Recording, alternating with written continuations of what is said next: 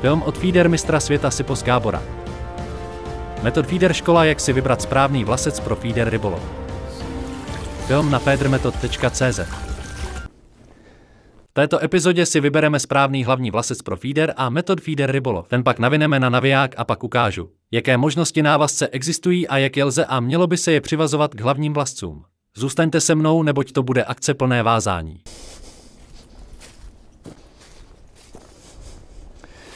Při výběru hlavního vlasce nejprve je třeba objasnit, na jakou rybu a do jaké vzdálenosti budeme lovit. Pokud je cílovou rybou kapr a ještě nemáte profesionální házecí techniku. A také pokud si nejste jisti při zdolávání ryby, je vhodné vybrat si poněkud hrubší hlavní vlasec.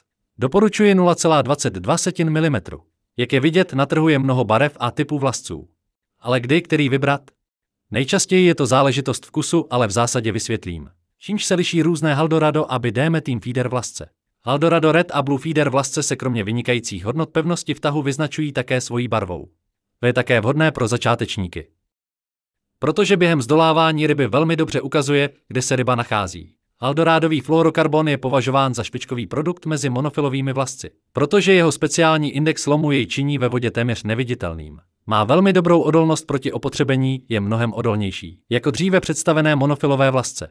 Tenčí verze jsou vhodné pro návazcové šňůry, střední velikosti pro hlavní vlasce, zatímco hrubé velikosti jsou doporučeny pro návazce. Z nabídky by DM Team Feeder vlasec Longcast Feeder je červené barvy. Je povrchově upravený vlasec, který je speciálně určen pro dálkové hody. Master Carp Feeder je živožlutý velmi odolný proti opotřebení, který se doporučuje pro náročné terény a také pro noční rybolov. Kvůli jeho dobré viditelnosti. Super Sensitive Feeder je téměř neviditelným partnerem pro precizní a soutěžní rybolovy. Zatímco Powerfighter Feeder je díky své dlouhé životnosti neunavný bojovník každodenního rybolovu. Proto vám ho také doporučuji, protože jistě zvládne i vaše počáteční chyby. Na nové navijáky se navine 0,22 mm velikosti. Prvním krokem při navíjení vlasce na naviják je umístění navijáku na rukojeť prutu. To můžeme jednoduše provést pomocí šroubovacího držáku navijáku takto. Potom vybraný vlasec resepe.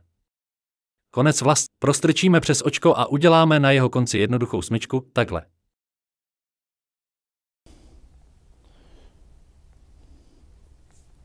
Zbytek vlasce je třeba odstřihnout, je lepší to udělat ze základu.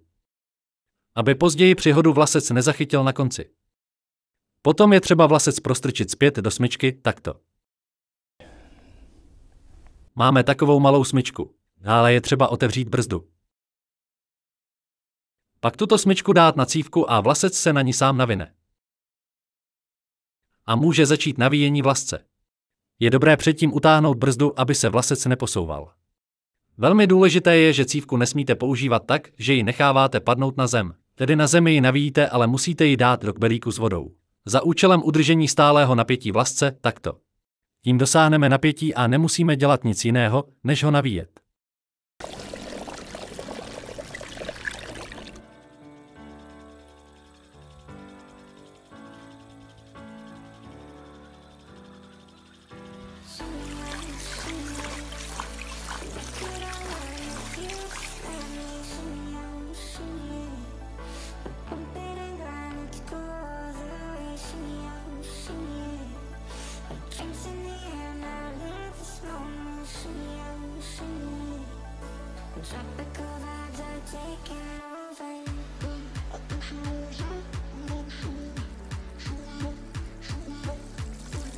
Velmi důležité je, že cívku nesmíte přetáčet.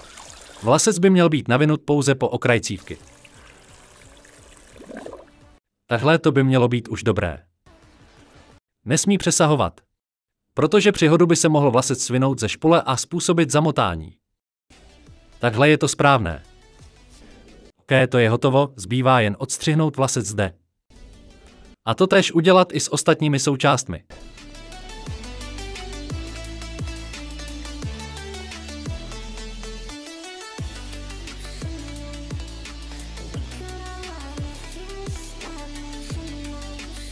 Vlasec 0,22 mm je dost odolný, ale abychom mohli bezpečně házet i větší krmítka během celého dne, je dobré použít nějakou návazcovou šňůru. Nejjednodušším řešením je Haldora Brax Longcast pletená návazcová šňůra, kterou jednoduše přivážeme k hlavní šňůře.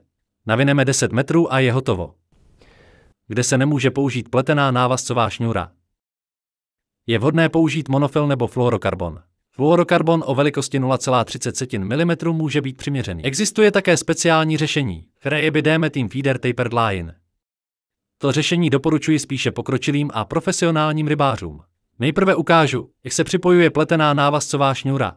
Pak spolu vyrobíme fluorokarbonovou návazcovou šňůru z 0,30 mm. Ale to si ještě počká. Z Brax Longcast jsem si vybral 0,20 mm. Nejprve je třeba jej vyjmout z obalu, což je velmi užitečné, protože na zadní straně je nákres Unito Uni uzlu, kterým se pletená návazcová šňůra váže k hlavní monofilní šňůře. Teď to spolu uděláme. Prvním krokem je položit dvě šňůry paralelně vedle sebe. Potom monofil umístíme do smyčky vedle. A čtyřmi závity překroutíme oba konce monofilní šňůry takto.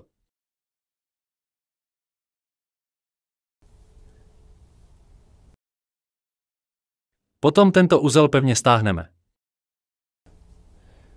Pomocí zubů můžeme uzel ještě utáhnout.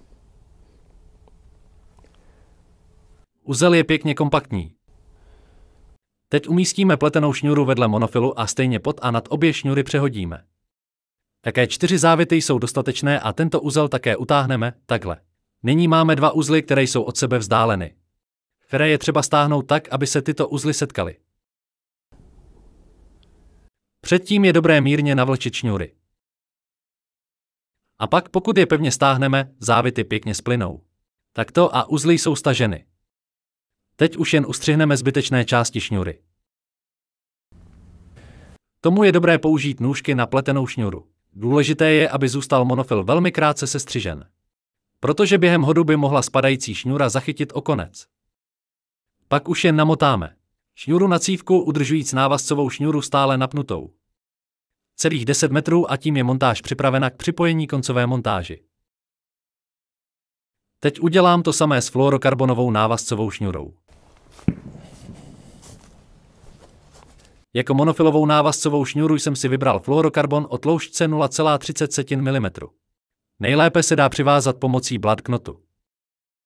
Dvě šňůry, hlavní šňůru a návazcovou šňůru umístíme paralelně vedle sebe. A tenčí šňůru omotáme alespoň čtyřikrát kolem hrubší takhle. Potom konec šňůry prostrčíme prvním malým otvorem. Což může být složité, zvláště v zimním období. Když člověk má ruce stuhlé od zimy. Ale hned to vyřeším tak a máme to. Nyní držíc to tady. Hrubou šňůru je třeba stejně pěkně obmotávat kolem tenké. Čtyřikrát to bude stačit takhle a pak to v opačném směru.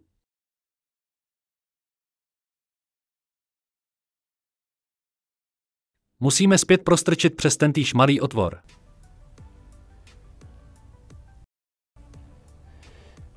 Nyní jen musíme utáhnout tento osmičkový uzel, neustále ho napínaje. To není tak jednoduché, ale pokud všechno správně uděláme. Uzly se uspořádají vedle sebe.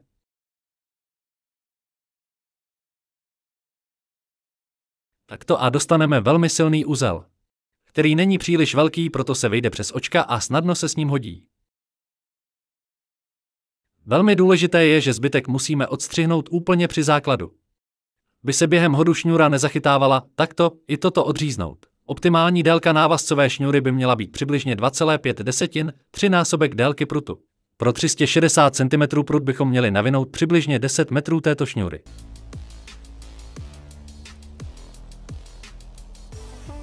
To je přibližně 15 otáček. Teď už nic jiného nezbývá, jen to odstřihnout a takto je montáž připravena k připojení koncové montáže. Ale to ať už bude příběhem na jindy. V další epizodě ukážu, jak si připravit jednoduchou a efektivní metod feeder koncovou montáž. Doufám, že se mnou budete i tehdy.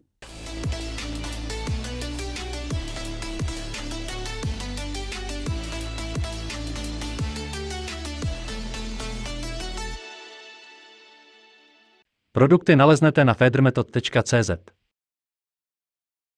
Dále nezapomeňte přihlásit se k odběru videa na náš YouTube kanál. Přihlásit k odběru newsletteru na našem webu federmetod.cz. Sledovat nás na našem Instagramu, kde nás sleduje již více než 31 tisíc lidí. na naší facebookové stránce a na našem úplně novém kanálu TikTok. Všechny odkazy na naše webové stránky a sociální média jsou níže.